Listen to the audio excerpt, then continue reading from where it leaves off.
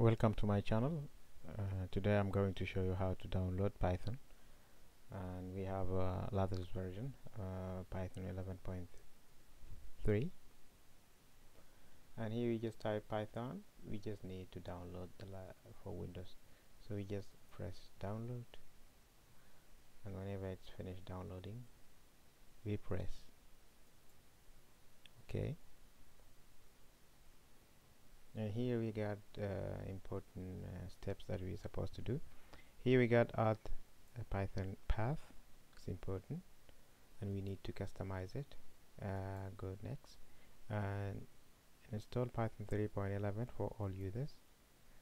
And install. Press yes. And good to go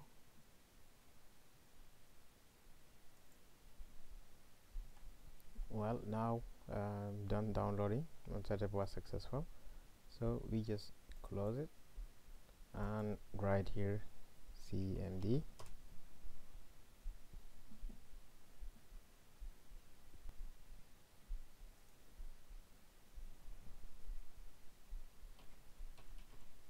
python space version. And we got Python 3.11 now write Python. And we need to test it.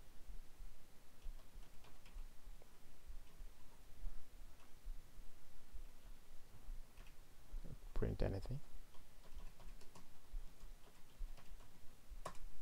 Here we go. It's working. And we write id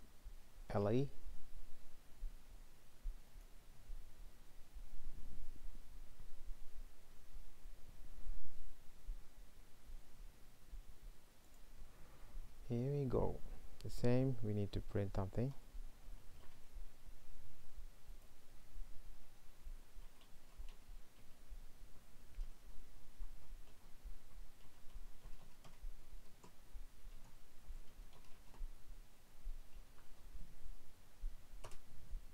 go we can you can do any type of mathematical thing like a equal to b.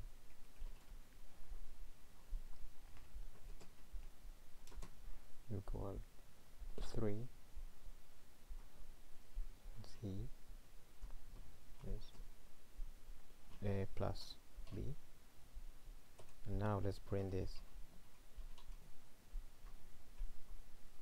print only 3 here we go.